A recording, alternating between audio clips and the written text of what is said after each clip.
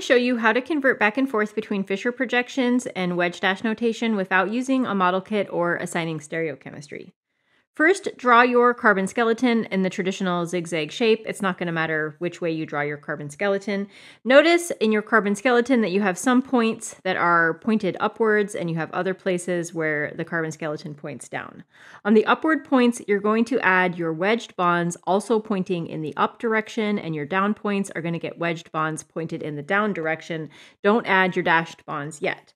Number your Fischer projection starting at the top, working your way down to the bottom. Number your carbon skeleton starting at the right, working your way to the left. It's essential that you number from right to left. I would just visualize myself kicking the Fischer projection over to help me remember that carbon number one goes on the right.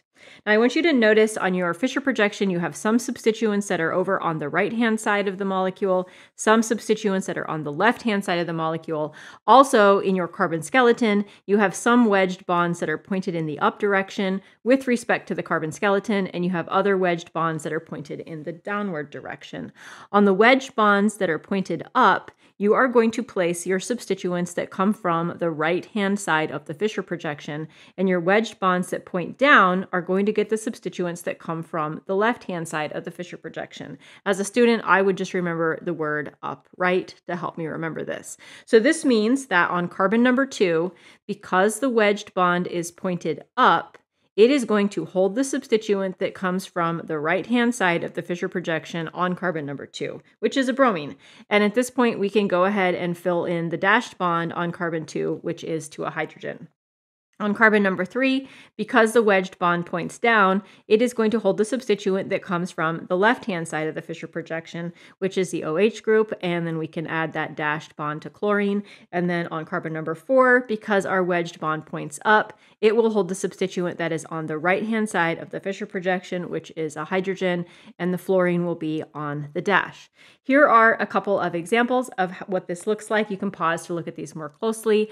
Uh, examples of what this looks like if you have have only one chiral carbon, or if you have a molecule that has an achiral carbon, such as a ketone, in the middle of the chain. Now, here's an opportunity for you to try this out. Pause and see if you can replicate uh, or convert this into wedge dash notation. And here are two correct answers um, with the carbon skeleton being oriented in different directions. Both of these are the correct answer. Now, if you have to go from wedge dash notation into a Fischer projection, it can be a little bit trickier depending on what your wedge dash notation looks like. This whole method that I'm using relies completely on the wedges being like really front and center in our drawing. So if you have a carbon atom, like in this case, it doesn't even have a wedge showing, you're going to want to First of all, just modify this drawing so that it kind of matches the pattern that we use for this trick. And that involves, in my case, scooting this OH group over onto the side so that I can add the hydrogen atom that is on the wedge. Um, now also number your Fischer projection skeleton starting at the top, working your way down to the bottom, and then number your carbon chain starting at the right, going to the left. Carbon number one is just a methyl group. Carbon number two has the wedged bonds pointed up, which means that that hydrogen is going to end up on the right-hand side of the Fischer projection and the OH group will be on the left. Carbon number three has the wedged bond pointed down. That means that the OH group on carbon number three will be on the left side of the Fischer projection and carbon number four wedged bond pointed up. That means that the hydrogen on carbon 4 will be on the right-hand side. Now, last but not least, if you're dealing with a wedge dash notation for a molecule that has only one chiral carbon, this can be a little bit trickier because this is the typical way that we represent that molecule with the wedge either kind of angled off to the right or sometimes angled off to the left, which does not work with this method.